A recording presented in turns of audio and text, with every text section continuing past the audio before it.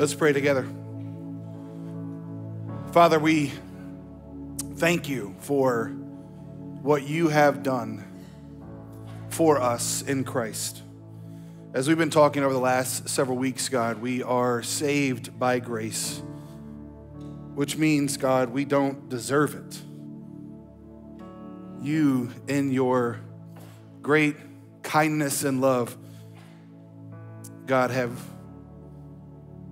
done good to us. That is what grace is. You have made us alive. And God, I pray maybe for those today who haven't experienced that moment that that would happen, that you would overcome their resistance to you. I think for those of us, God, that it has, I pray as we talk today, we would remember that. We would remember, bring to mind the fact that you have been so gracious to us. And God, as we open up your word now, I pray that you would fill us with your spirit, help us to see and to know, and then ultimately to live in light of these truths. And as always, God, help me to communicate it in a way that is honoring to you and then helpful to us. We thank you for it. We ask it in Jesus' name. Amen. All right, if you have a Bible with you today, we are in Ephesians chapter 2. We've been hanging out there for a couple weeks. If you don't have a Bible, don't worry, the verses will be here on the screen. If you don't even own one, we would love to give you one as a gift today, both locations. If you don't have a Bible, just ask for one after the gathering is over. Someone in a blue shirt will be able to hand you one. But we're just uh, walking through the book of Ephesians or the letter to the church that is in Ephesus. And it is a letter, as I've said this many times, and it's meant to be rid, uh, ridden, read, redden. Is it? Can we say redden? I don't understand. We should, all right? It's meant to be read from beginning to end. And so if you haven't read the letter, I would encourage you to read it. And there's primarily two sections, sections one through three, and then sections four through six. And so we're in this first section. Lord willing, we'll finish it out on Christmas this year, which is hard to believe we're getting close to Christmas. I don't know about you, but I feel like I'm surprised every year, which I shouldn't be, right? Because it's like it happens every year. Um, just like Hope for Christmas. So I hope you're not surprised by that. Please take that card and sponsor some children's and uh, some children's, some kids in Jasper and in Canton, Pickens County and Cherokee County because it is a great opportunity to live life on mission. But we're talking through the uh, book of Ephesians or the letter of Ephesus, uh, the letter to the church in Ephesus in Ephesians chapter 2. And this week and next week, we will finish out chapter 2. And, and Paul is going to start to get into the implications of what we've talked about over the last several weeks by the fact that we are saved by grace through faith. And so, if you weren't here, you can go back and listen to those messages. So, today we're primarily going to be in verses 11 through 16, and we're going to talk about what we've been talking about because the very first word of verse 11 starts with the word therefore. And I've taught you this, and hopefully you remember, but anytime you see the word therefore, you should ask yourself the question what is it?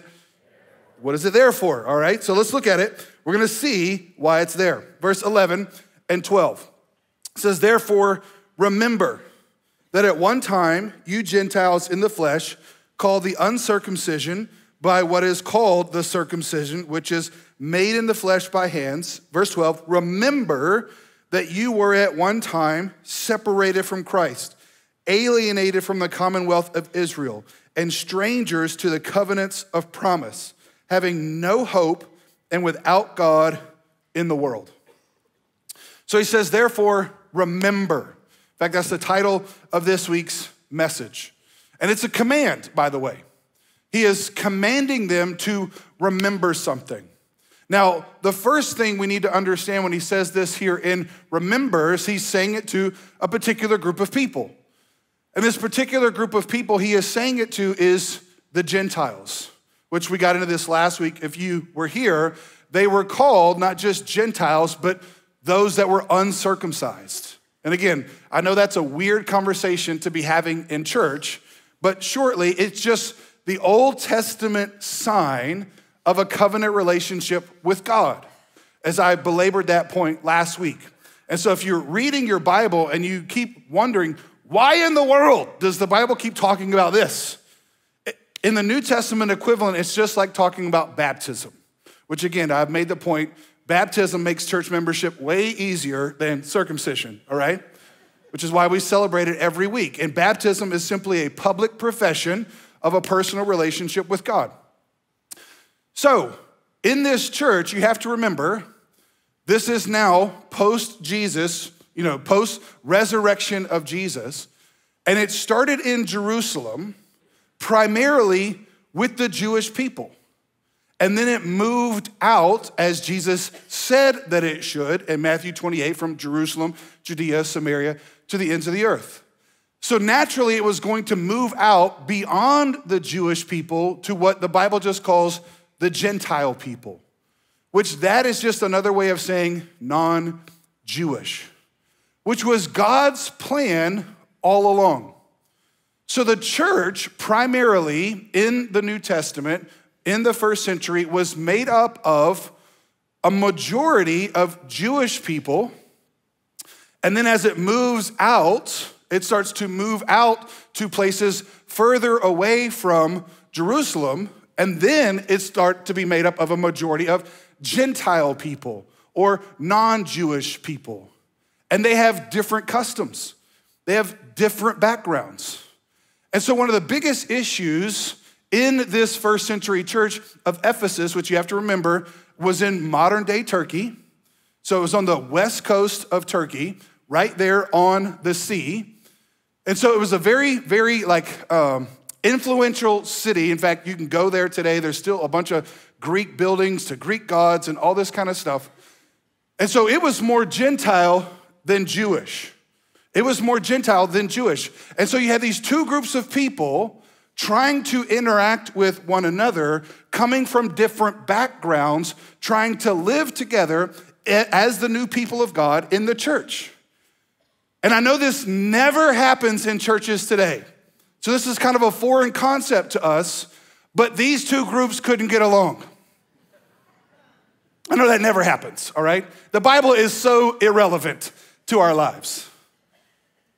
And so these two groups are coming together, and in essence, you have one group saying to the other group, You're not like us. So therefore, since you're not like us, you're less than. And Paul's going to start to address this reality. You can think about it like this you have circumcision, uncircumcision, you have worthy and unworthy. And here's where Paul is going to belabor the point.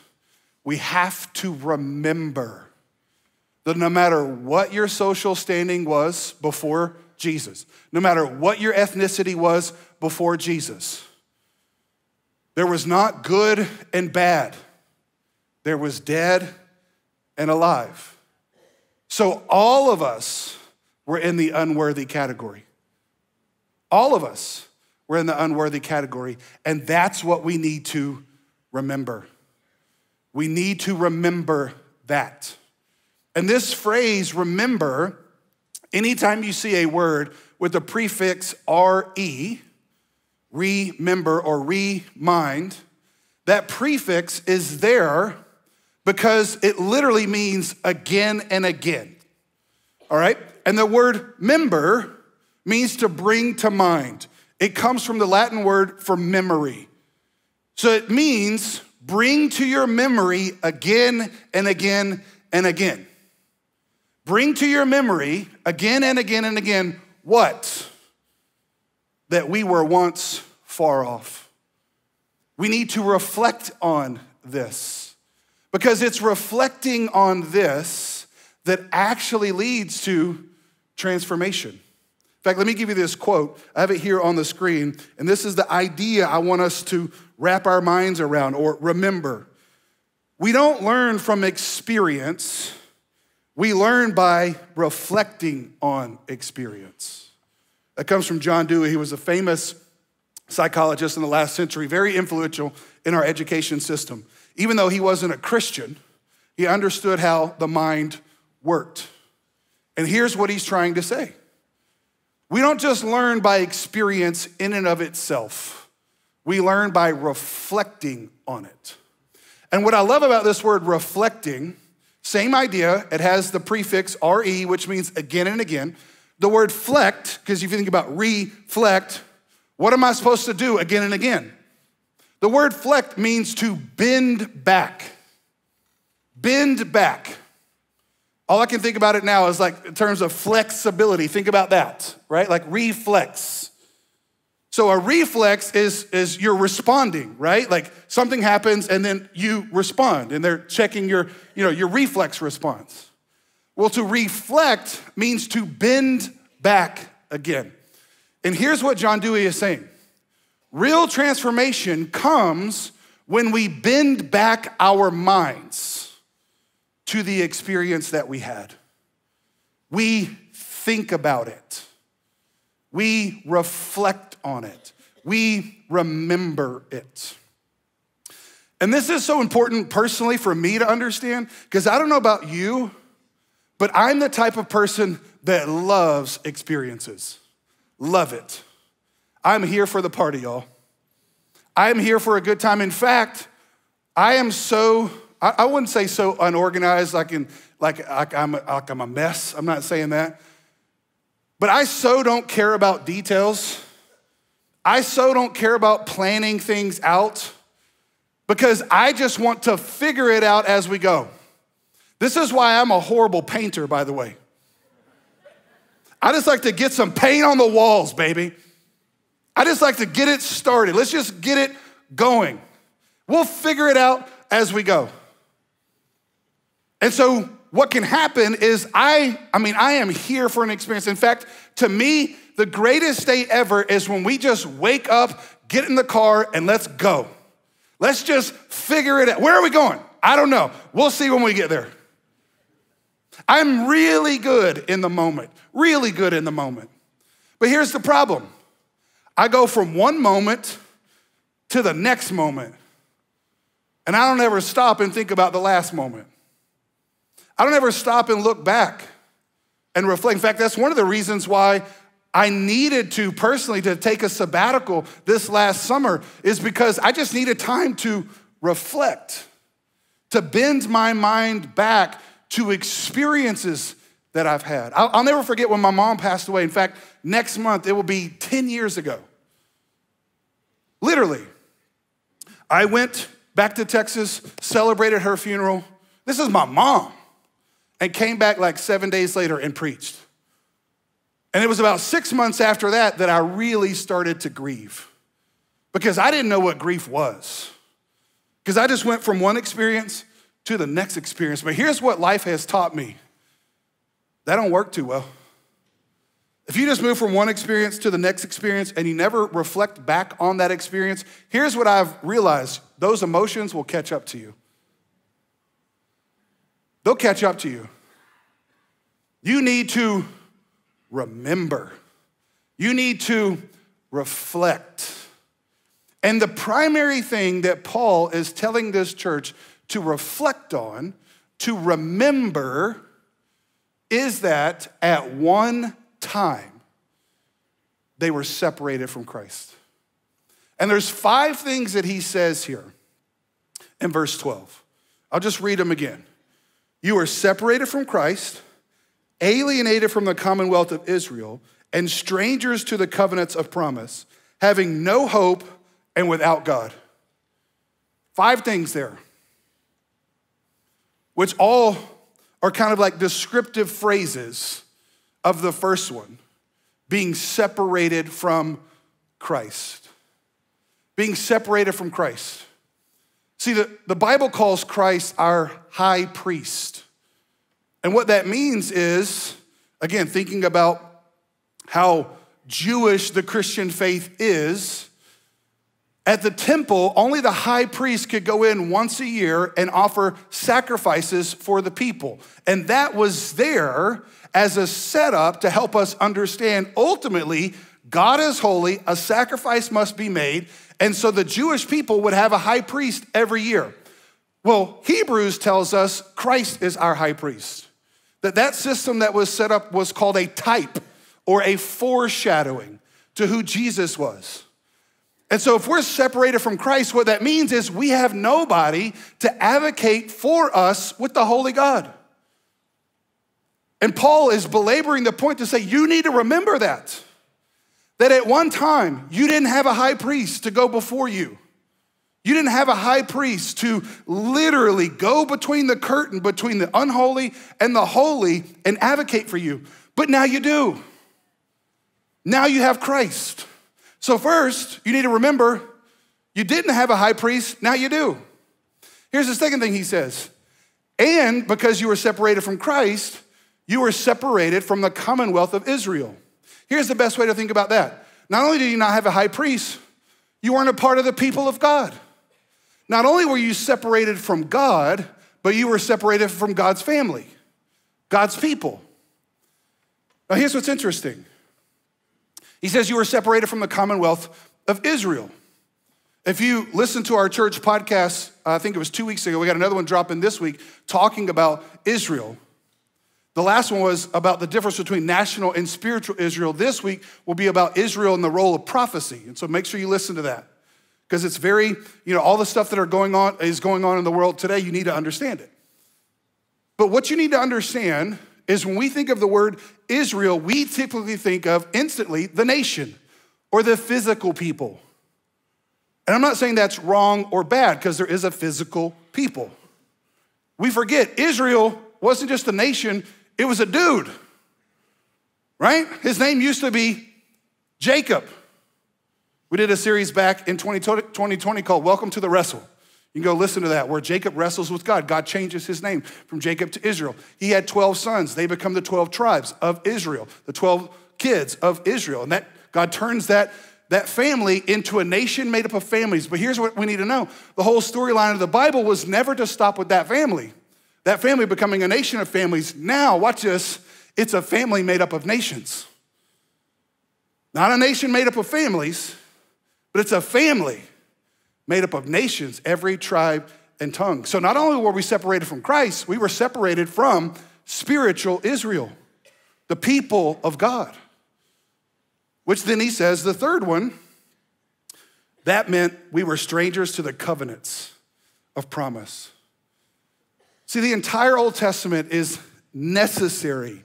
This is why you cannot disconnect yourself from the Old Testament. Again, we'll talk more about this in the podcast this week why some people do that and why I think that is a failure to understand the entire pre- premise and plan and promise of God. But in the Old Testament, you have all the promises of God. You have all the promises of God that God makes to his people, Israel. And here's what Paul's saying now, in Christ, all those promises that God made to Israel, it was never about God making those promises to a physical nation. It was always about God making those promises to his family, in, which is made up of not just one people of one ethnicity, but his people from all ethnicities, what is called spiritual Israel. Look at verse 13. This is what we need to know. He says, But now in Christ Jesus, you who were once far off have been brought near by the blood of Christ. See, there was a time that you were separated from all of that. And since you were separated from all of that, there was two results. You had no hope because you were without God. You had no hope because you were without God. And that phrase there, without God, back in verse 12, literally is the Greek word atheist. It's where we get our word atheist. Because anytime you put the word a before a word, it means the opposite. So if someone is without God, watch this, they are without hope. You say, well, that's a, what a statement. I'm not calling out atheists. I'm just saying, what's your hope? Well, my hope is in mankind. really? See, back in the 20th century, everybody's hope was in education. Everybody's hope was in helping people to know more. Now we know more and we're dumber than ever. See, here's where you fail to understand. Without the promises of God, there's no hope. Why? Because death beats education. Death beats humanity. I don't care how smart you are. I don't care how rich you are. I don't care, watch this, what group you're a part of, you still die. And therefore, you have no hope. But look at what he says. but now. I told you the best two words in the Bible are but God. Next, next best two, but now, in Christ. Watch this. You're not separated anymore. You're a part of the people of God now because you have the promises. You say, where you get that from? All right, look at Second Corinthians chapter 1. You can just write it down as a reference if you don't want to turn there. I've got it here on the screen.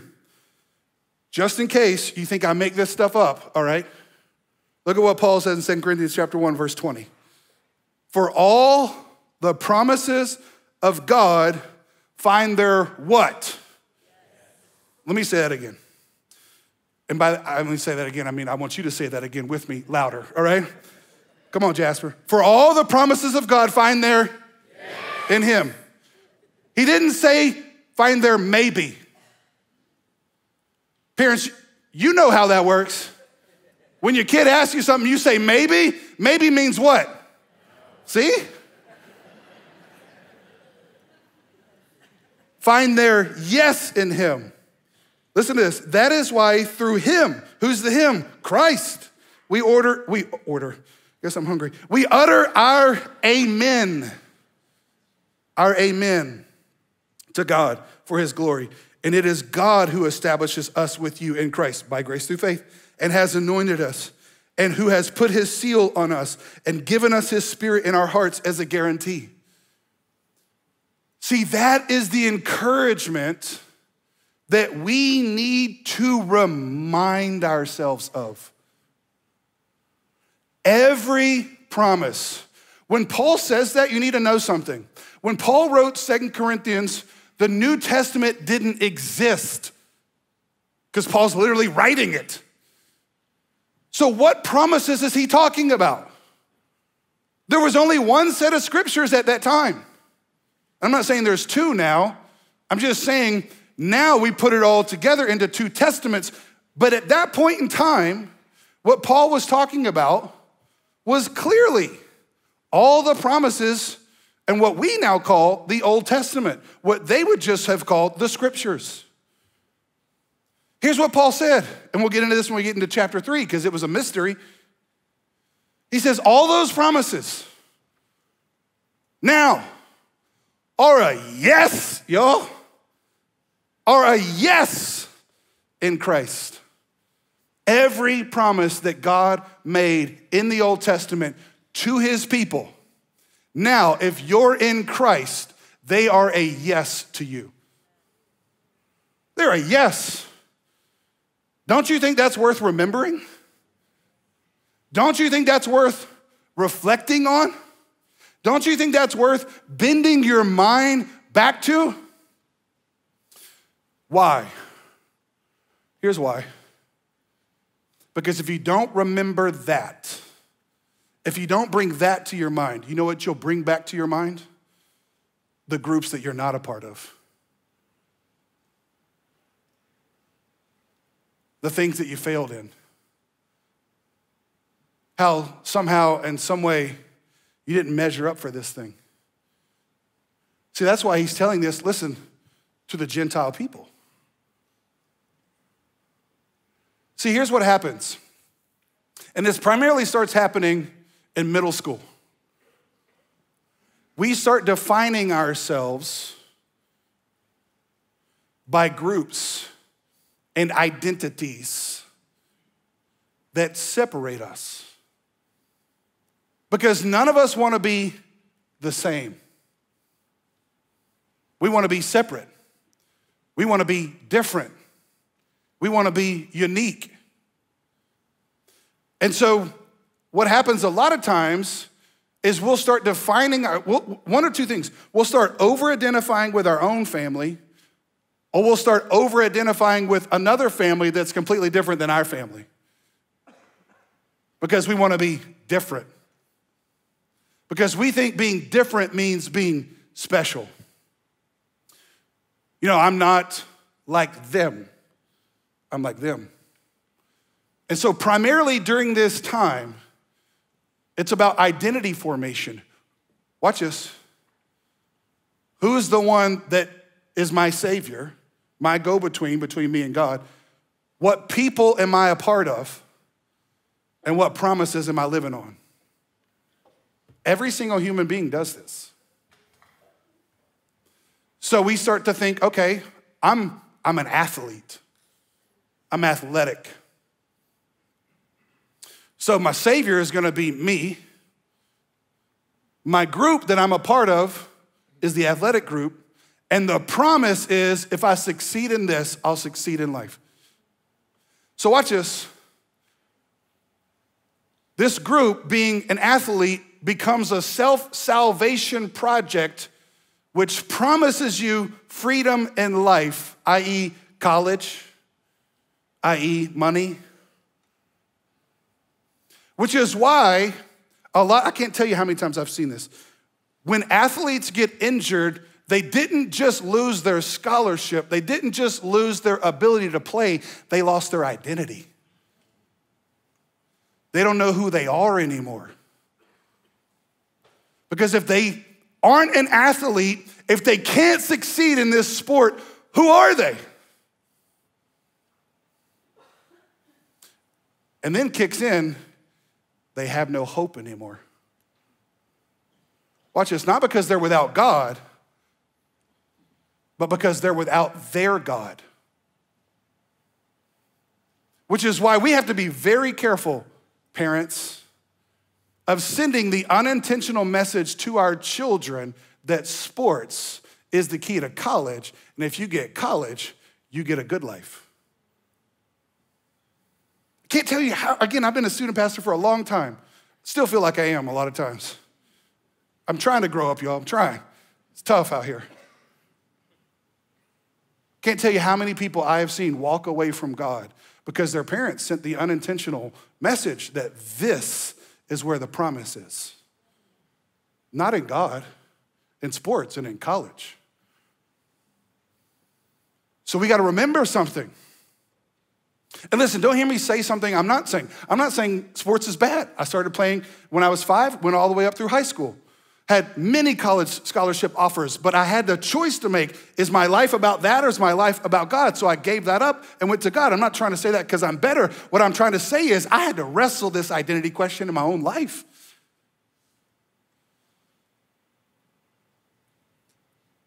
But let me ask you this which one produces more hope that we need to remember? Sports, money, power, prestige, or God? Let me say it to you like this if you're in God's family, it doesn't matter what group you're not a part of. I mean, think about it. You're not in the cool kids group, you're, or you are in the kids school, kids school group or whatever. I don't know what all the, there's so many groups today, I can't even begin to know what they are, all right? What do you tell yourself? Man, I'm a part of God's family. Why does it matter if y'all don't like me? I'm not saying this is a license to be a jerk, okay? But what I am saying is this Is God your first identity? Is being a part of Christ and the family of God the identity that forms everything else about who you are? Because if you lose these other things, this is what you can tell yourself I haven't lost my hope. I haven't lost my God. I haven't lost the fact that all the promises of God are a yes. And listen to me, especially teenage girls, God's promises are better than some smelly teenage boys. Well, he doesn't love me. Bro, he likes the smell of his own farts, and that's what you think is gonna make you happy? Never thought you'd hear that in a sermon, all right?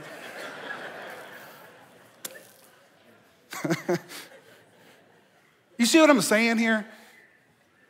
We have to remember. We have to remember if we get God, we get everything. So let me, next point. Every amen is a moment to remember. Every amen is a moment to remember. Notice he said there in 1 Corinthians, he said, This is why we utter our amen. The word in English, amen, we just brought over from, from Greek. You didn't realize, oh, I've said this to you before if you've been around here. But in Greek, the word amen is amen. It's the same exact word. We just brought it over. And what it means is this is true or truly, truly. And the reason why we say amen at, a, at the end of a prayer is we are asking God to let what we just prayed to be true. That's why you say it. The difference between us and Jesus, when Jesus prayed, he put his amens at the beginning. And here's what he said This is true. Amen, amen. And then he says what is true. See, we're a little different like that. We don't put it at the beginning because we're not God in the flesh. We put it at the end because we're begging God in heaven to listen to, in Jesus' name, this thing that we just prayed, please make it true.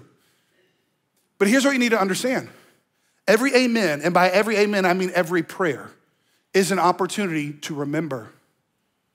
Is an opportunity to remember. Listen, think about your prayers. I would venture to say your prayers, a lot like mine, are you praying a lot of times for things that you want? And they may be good things, like God, help me get this thing, help me be a part of this thing, heal this person, all those things. But here's what we have to understand if the answer to those things is no, you have to remember that ultimately God's answer to you in Christ is yes. And I've seen a lot of people walk away from God because they got a no to something. And then it just revealed their identity. That their identity wasn't in the fact that God already said yes to them in Christ. They walked away because they thought, well, what God did for me in Christ is not enough.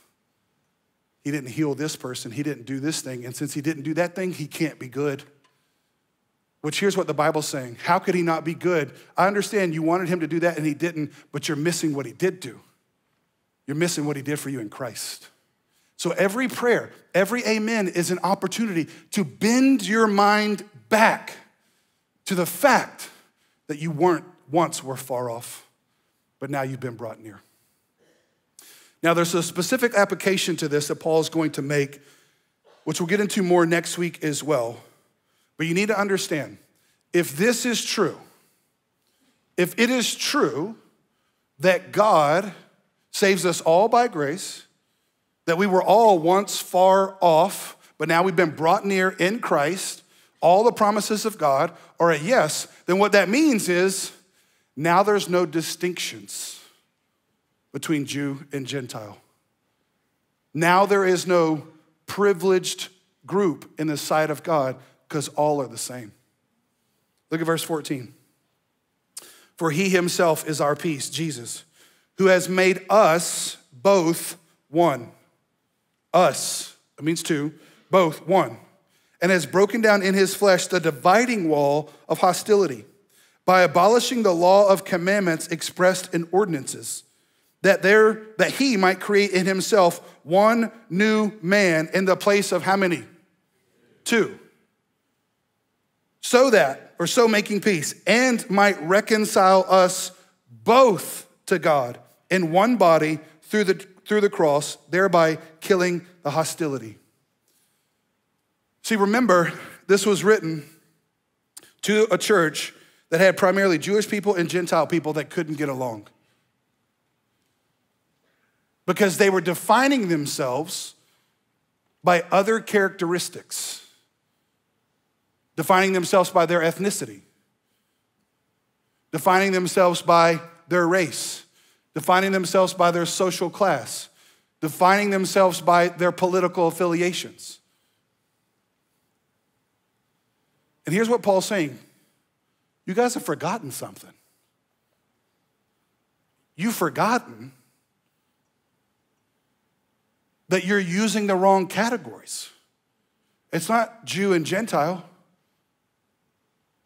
Let's make this more modern day. It's not white and black or this ethnicity and this ethnicity. It's not male and female. It's not slave or free. It's dead and alive.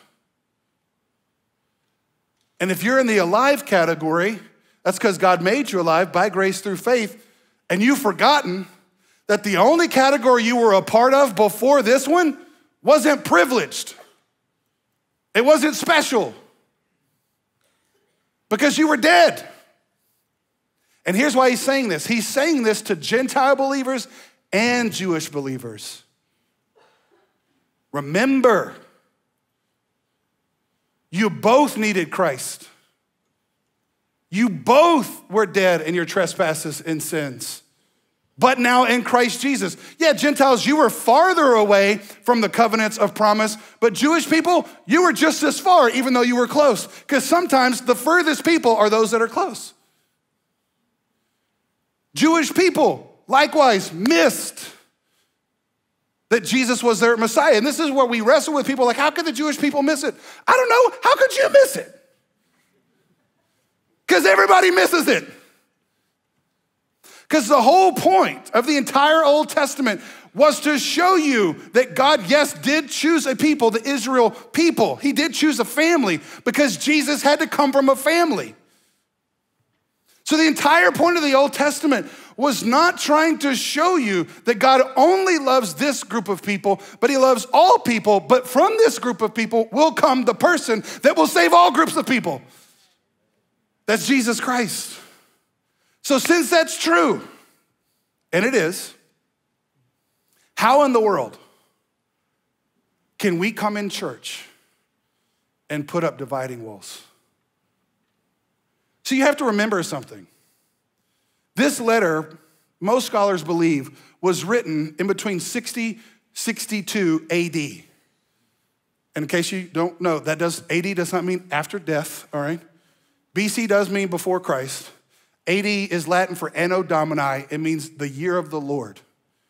Now, in secular world today, we don't use those. We say BCE, which is before common era, and CE, which is common era. They still divide everything by Christ. They just don't like to say it was Christ.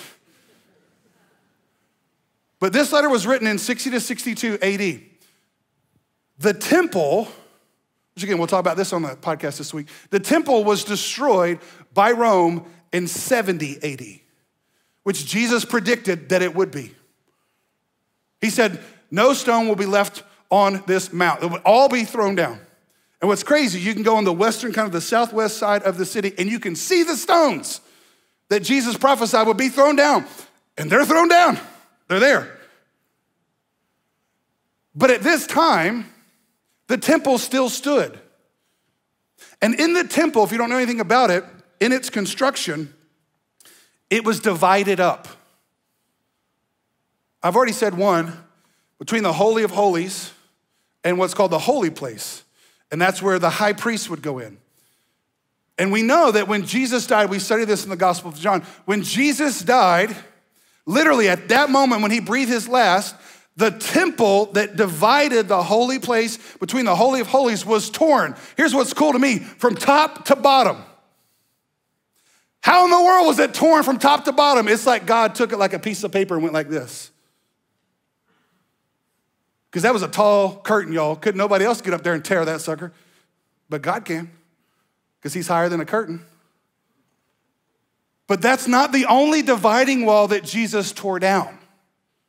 He didn't just tear down the dividing wall between man and God. He also tore down the dividing wall between man and man. Because there was another dividing wall. In fact, there were several dividing walls in the temple one between priests and men, one between men and women, and then one between Jews and Gentiles. The court of the Gentiles was outside. And then there was a gate called the Beautiful Gate, it's because it was so big and beautiful, where only Jewish people could enter. Here's what I thought it's even more beautiful now because more than Jewish people can enter. And it's even more beautiful now because we can all enter into the holiest of places because of our high priest. So think about it like this. Here's what Paul's saying I know you can go to the temple, Jewish people, and still see the dividing walls. But in Christ, in his flesh, all that was broken down. See, not just the dividing wall between the holy place and the holy of holies, but the dividing wall between Jew and Gentile as well. He's torn it down. So, what does that mean for our churches? What it means is you may have resurrected some dividing walls that Jesus tore down. Some dividing walls like ethnicity, some dividing walls like social status, some dividing walls like Jew and Gentile. Where in your heart, you may realize that because of Christ, you've now been brought near to God, but you've failed to realize because of Christ, you've now been brought near to your neighbor.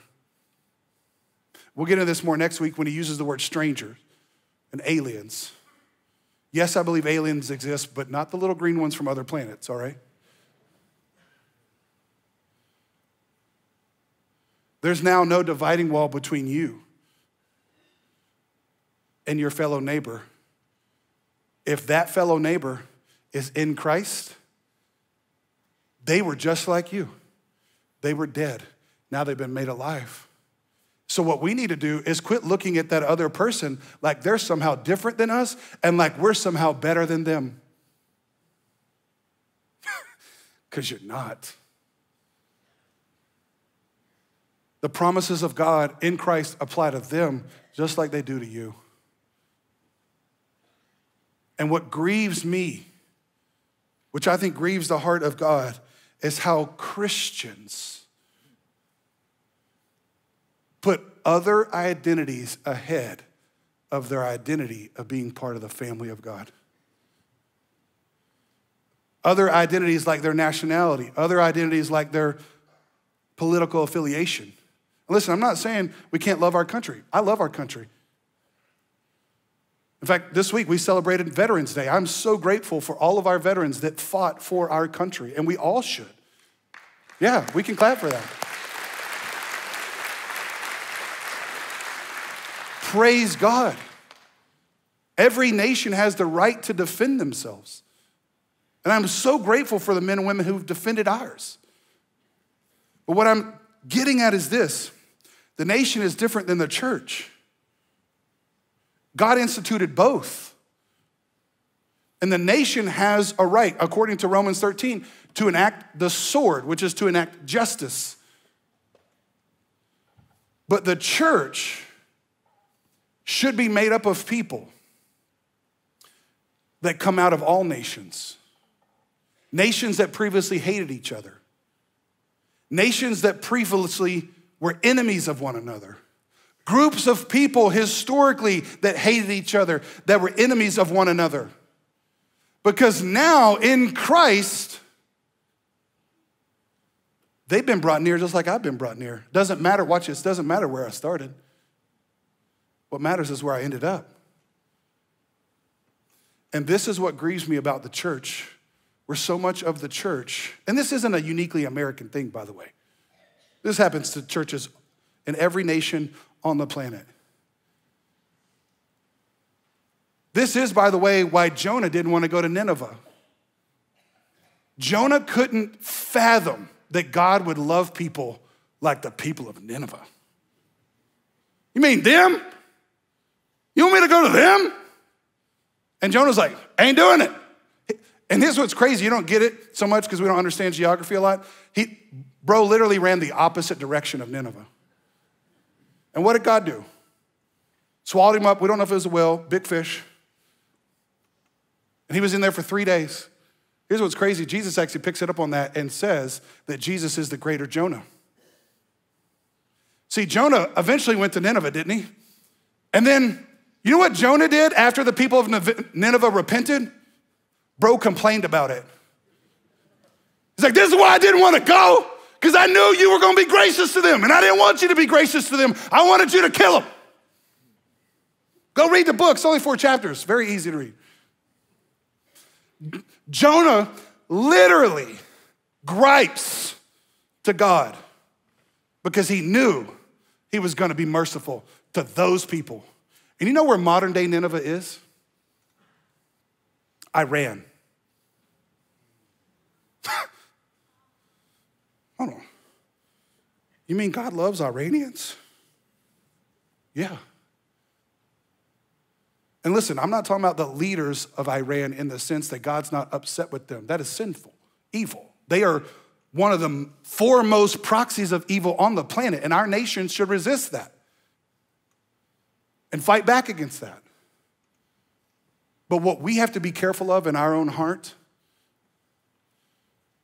in fact, we have some people that came to our church from Iran, is God loves Iranians just as he much as he loves Americans, just as much as he loves the Jewish people, just as much as he loves Syrians. You see what I'm saying? Let me give you the last point. In one body, everybody can now be a part of the body. I gotta admit, I was pretty proud of that alliteration, all right? In one body, everybody,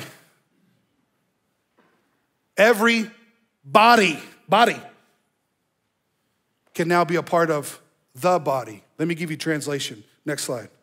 In one body, Jesus. Everybody, Jew and Gentile.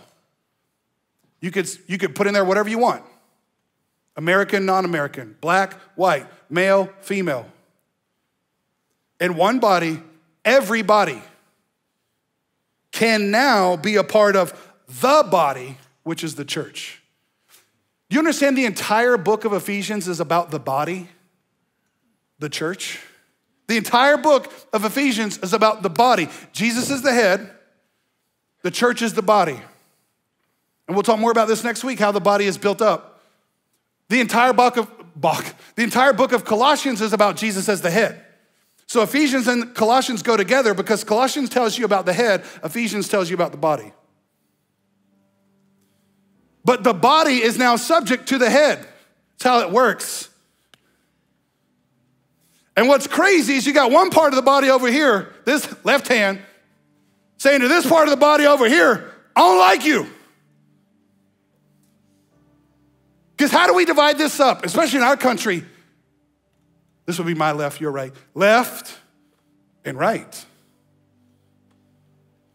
You mean left and right can be a part of the same hand? Yeah. You mean Jew and Gentile can be a part of the same body? Yeah. This is why Paul builds it out in Corinthians. How can the foot say to the hand, I don't need you? Listen, if you ain't got no feet, you're gonna have a hard time walking hands. and maybe, just maybe, our churches look so deformed and messed up because they're trying to walk without the other parts of the body. You got churches that are all hands, they just slap everybody. You got churches with no hearts. You got churches with no feet. And I say this all the time. Some of y'all are the appendix. We don't know what you do, but you could kill us all.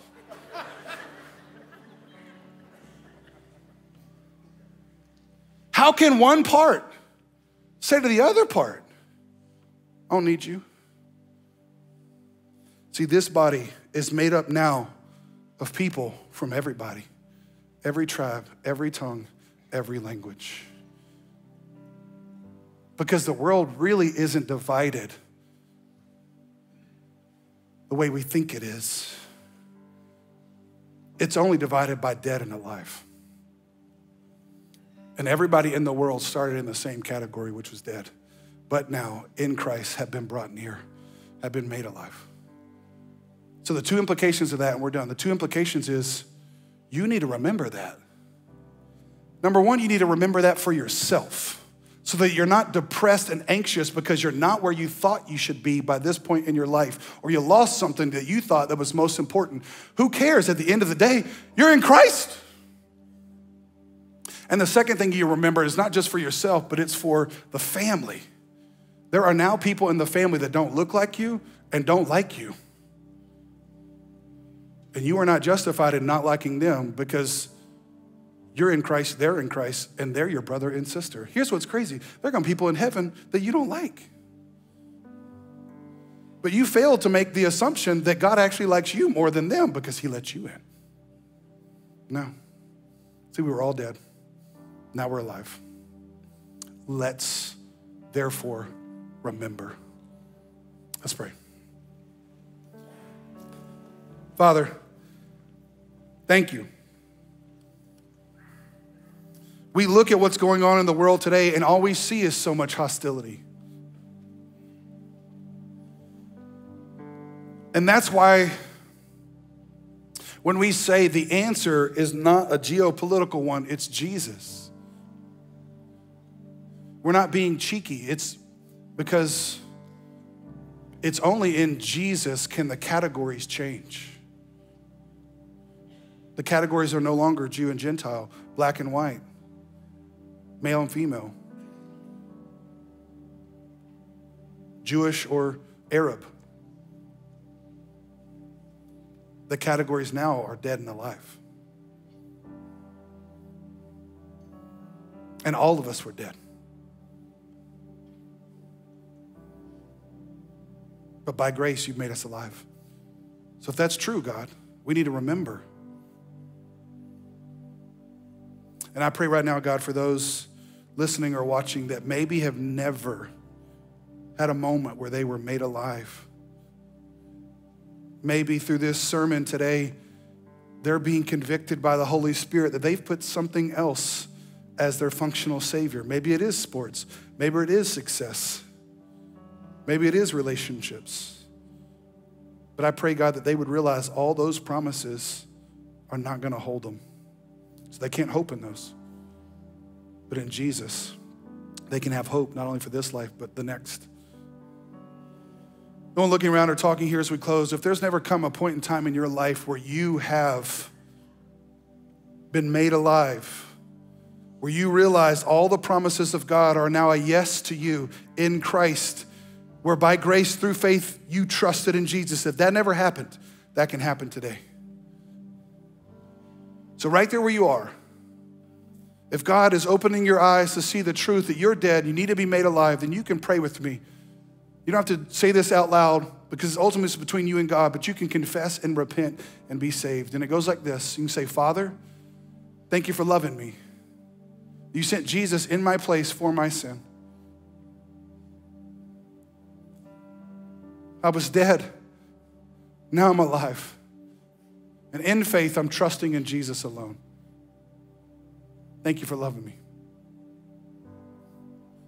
Again, nobody looking around or talking, but if you're here today in one of our physical locations and you just pray that with me, we just simply lift your hand up. We got men and women that are here and walk around, put a Bible in your hand. When they do, you can put it down. Thank you.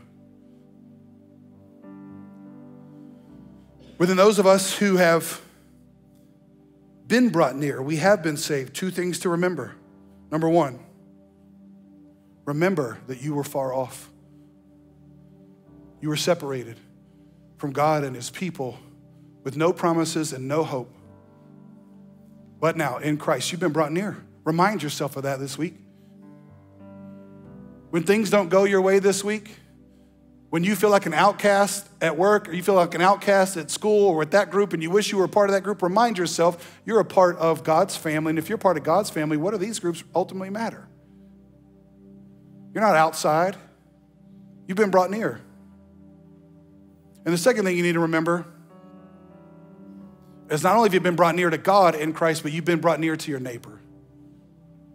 So if you have hostility between a certain group and you or a certain person in you, in Christ, that hostility has been broken down, and you need to go near to them just like Christ came near to you. And if you can't go near to them, then you don't understand how Christ came near to you. He came to you while you were still a sinner. You go to them while they're still a sinner. And you graciously love them.